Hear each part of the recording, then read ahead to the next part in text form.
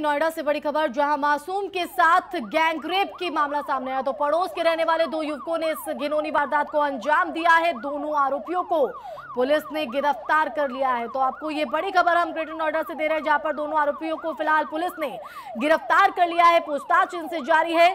तो नोएडा से बड़ी खबर आपको दे रहे हैं, मासूम के साथ गैंगरेप।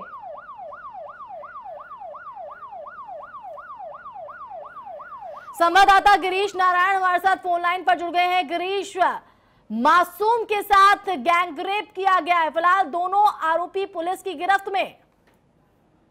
जी निश्चित तौर पर एक फिर से शर्मनाक करने वाला ये हादसा नोएडा में आया है। ये एक मासूम बच्ची है जिसके साथ जो पड़ोस में रहने वाले दो किशोर हैं, उन्होंने इस घटना को अंजाम दिया। और इसमें एक हैरानी वाली बात ये भी है कि ये जो दोनों आरोपी हैं, ये खुद भी नाबालिग हैं और इनको पुलिस ने गिरफ़्तार कर लिया है। जी बिल्कुल लेकिन गिरीश पुलिस की तरफ़ से क्या कुछ कहा जा रहा है? आगे किस तरह से कार्रवाई?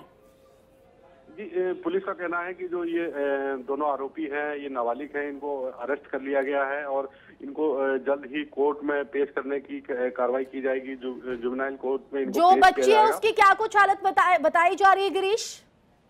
जी फ़िलहाल जो बच्ची है, उसको अस्पताल में एडमिट कराया गया है, उसको उपचार दिया जा रहा है, थोड़ी सी, क्योंकि जिस तरह से ये घटना हुई है, थोड़ा कहीं ना कहीं बच्ची की तबीयत थोड़ी सी बिगड़ गई थी, उसको अभी अस्पताल में इलाज कराया जा रहा है पुलिस की तरफ़ से, और इन पूरे मामले को जल्द से जल्द जो दोषी है, उनको कोर्ट भेजने की कार्रवाई की जा रही है।